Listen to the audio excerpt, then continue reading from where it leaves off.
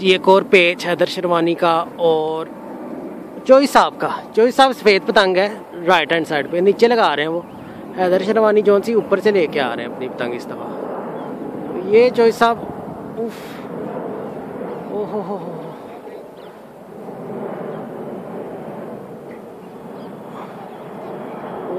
काट दिए जी हैदर शेरवानी ने।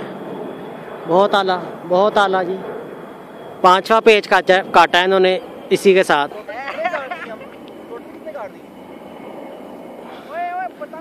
नौ एक है मेरा ख्याल से स्कोर थैंक यू